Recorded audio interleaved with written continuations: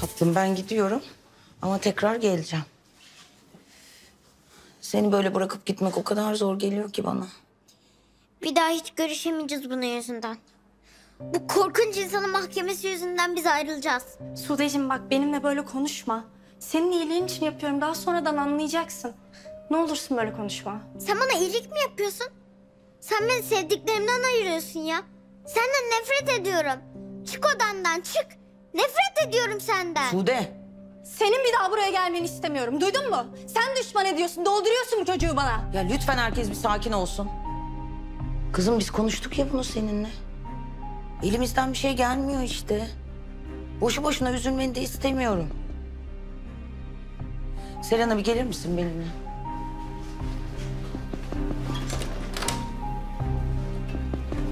Git buradan.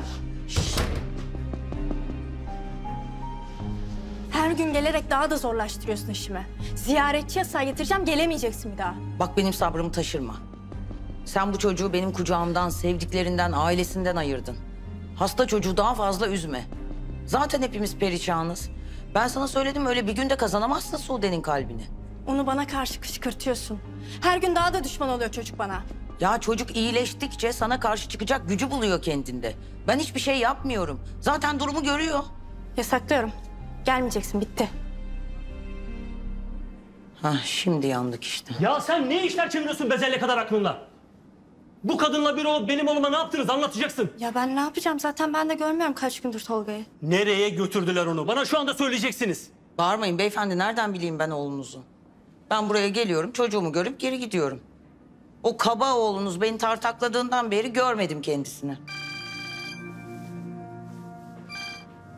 Alo. Biraz sessiz olur musunuz? İnsanları rahatsız ediyorsunuz. Lütfen çıkıp dışarıda konuşun. Tamam kusura bakmayın.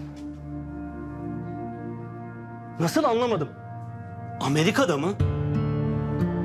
Ne işi var Tolga'nın Amerika'da? E nasıl gitti oraya? Tutuklanmış orada. Ya bu, bu nasıl olabilir?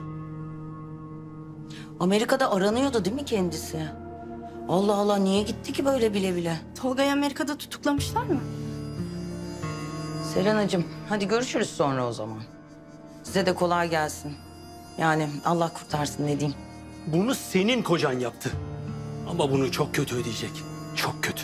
Niye sizin oğlunuz süs köpeği mi? Benim kocam öyle kafese koysun da ta Amerikalara uçakla götürsün koskoca adamı. Yani olacak şey mi bu? Daha fazla video izlemek için kanalımıza abone olabilir.